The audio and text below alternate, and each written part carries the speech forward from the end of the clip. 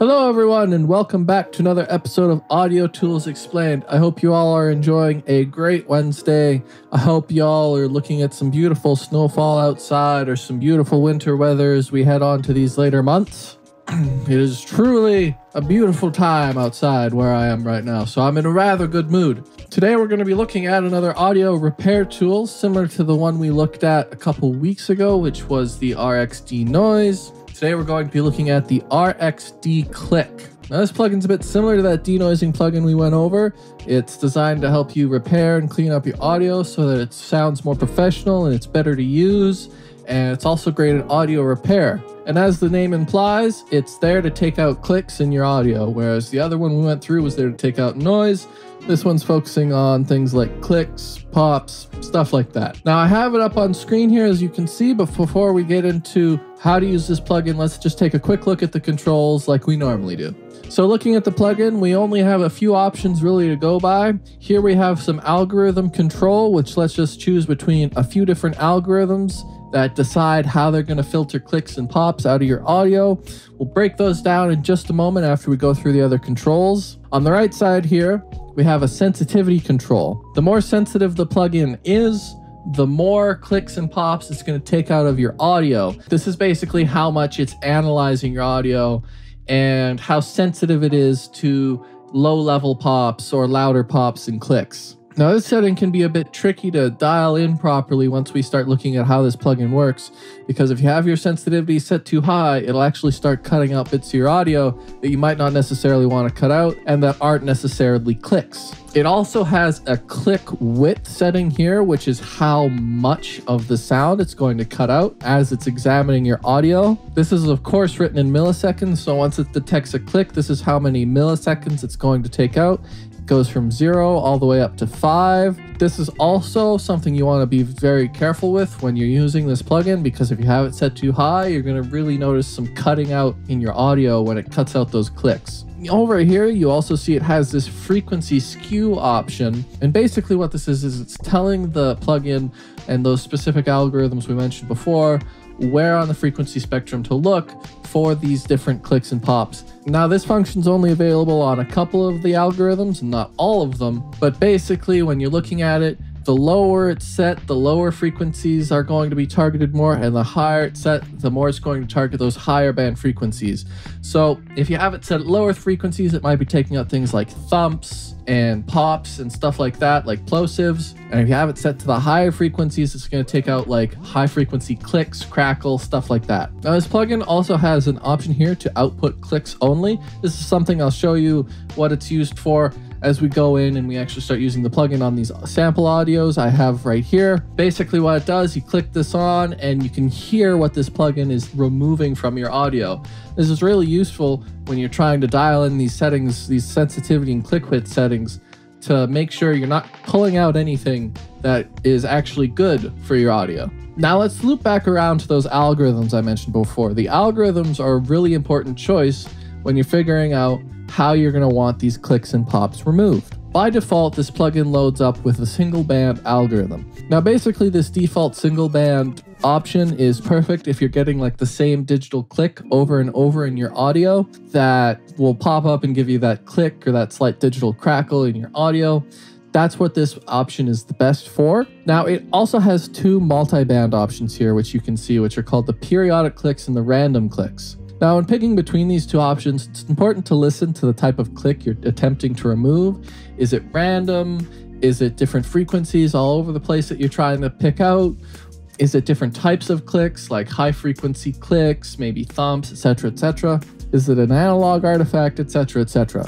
Now, if it's something like an analog artifact, like an analog distortion click from an analog unit, or a thump, or something like that, then the random clicks option would normally be the better choice, as the random clicks option is actually a lot better in keeping in things that are naturally occurring in instruments, such as transients that you get when you're plucking a guitar or those higher frequency sort of clicky transients that you get on some drums like snares and stuff like that. On the other hand, using the periodic clicks option is a lot better for use on more regularly occurring clicks and artifacts, which are less random. You don't need that algorithm to differentiate between the clicks in your audio from the instrument. Now, it also has a low latency function here. Now, this low latency function isn't just low latency. In fact, looking at the iZotope site, it even states that this is the optimal setting to use if you are getting stuff like mouth clicks or plosives out of your out of your dialogue.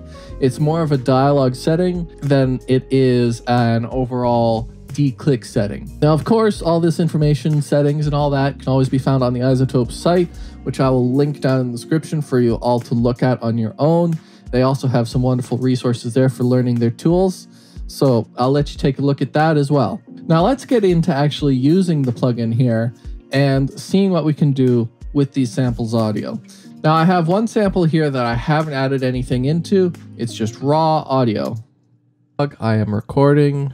I'm going to be adding in some clicks and pops to take out later on and see how you now I took this dialogue and I actually combined it with this vinyl static sample over here, which really has a lot of clicks, a lot of artifacts in it.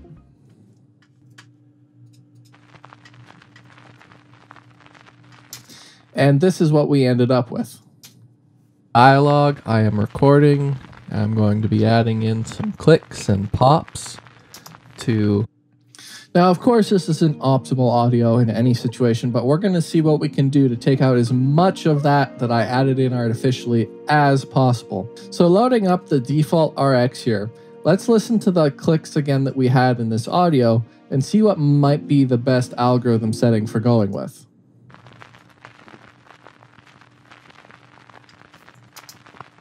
Now, the clicks and pops we are hearing are kind of all over the place in terms of frequency.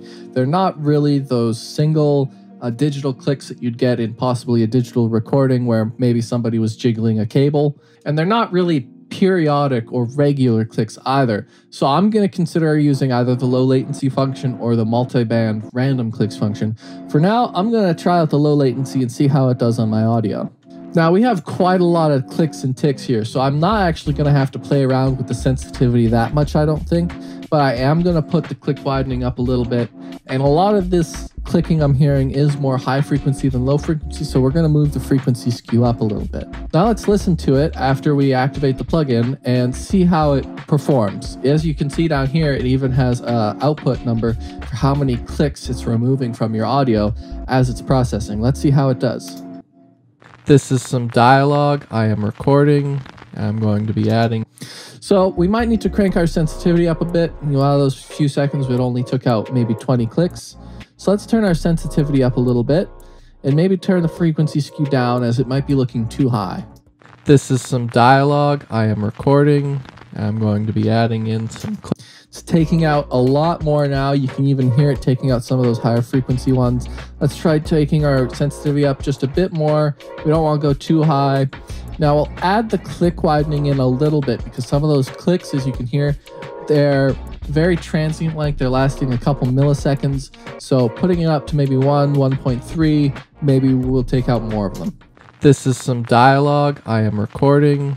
I'm going to be adding in some clicks and pops. Now, of course, this still isn't quite optimal. As we can hear, there's still a lot of clicks in the back, but let's compare this to before we added this plugin on. This is some dialogue I am recording. I'm going to be... That was before and now after. This is some dialogue I am recording. I'm going to be adding it.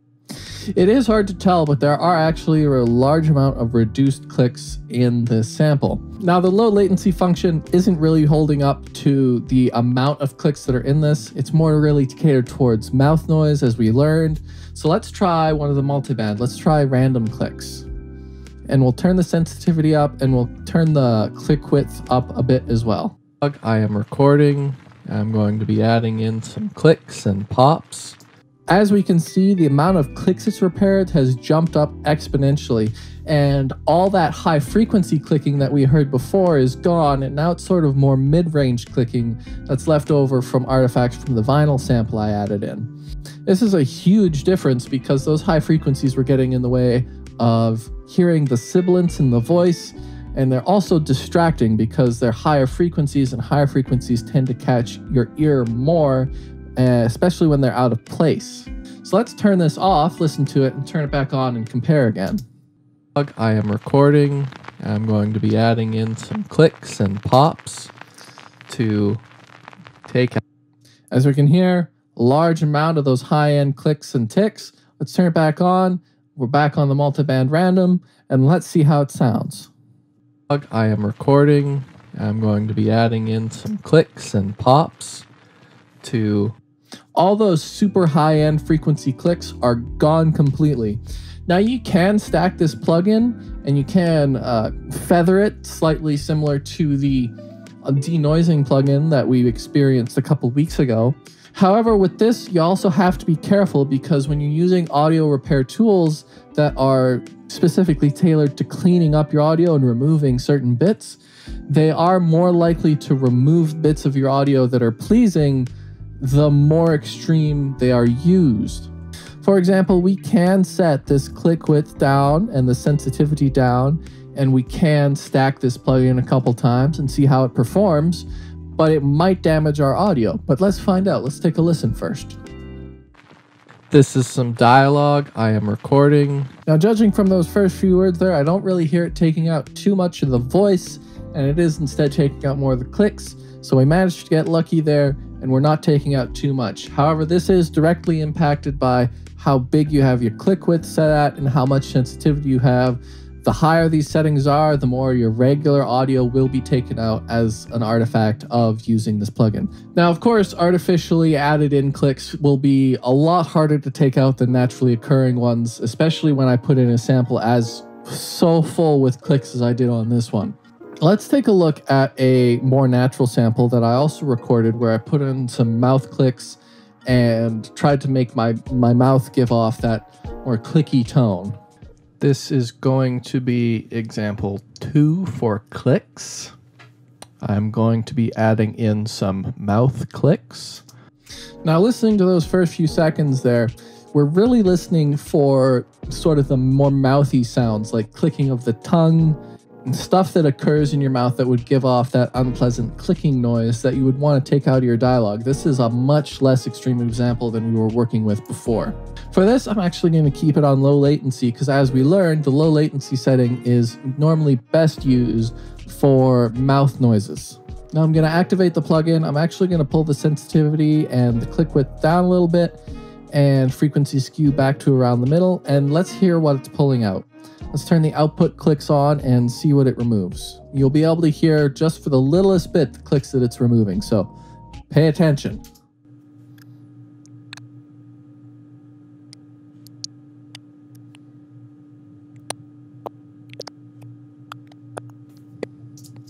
So you can hear all that little clicking and sort of snapping of my tongue that that's pulling out. Now let's listen to it again and see if we can hear the difference before and after. So this is before we take out all those clicks. This is going to be example two for clicks. Now let's activate it again and see if we can notice the difference. This is going to be example two for clicks. Personally, I could hear a big difference in those first two clicks that happen in this section here, right at the beginning. You can hear those clicks get pulled out if we go into the output clicks mode, and you can hear them again if we go back, activate the plugin, and listen to it in depth. So let's output the clicks here. You can hear those little clicks. Let's deactivate the plugin so we can hear them in context. This is going to be... Now let's activate the plugin again, and we can hear that those clicks are now gone. This is going to be... Now, after looking at something like that, that's probably the more realistic version of how we're going to use this plugin to repair audio with samples that we're trying to remove some mouth clicks from, or there will be samples where we will have some sort of digital click in which we'll use the single band one to take out those sort of digital clicks. One thing to note about this plugin before you use it as well as is it is extremely CPU intensive. It uses a lot of processing power and it causes a lot of latency on most of its algorithms, uh, except for the low latency one. Its latency is pretty low, pretty true to its name. Single band option is also usually pretty low latency, but not as low as the other one. I hope you guys found this useful. I hope you found it informative as always. And I would like to thank you guys as well for all the support you gave on the last composition walkthrough we did, the Skyrim ones. Those are probably the most viewed composition walkthroughs on my channel so far. So thank you guys so much for your support. Really means a lot. And I hope you stay tuned for next week because we're going to be starting to go into a bit more detail on orchestration. So stay tuned. And I hope you guys enjoy the rest of your week. Bye bye.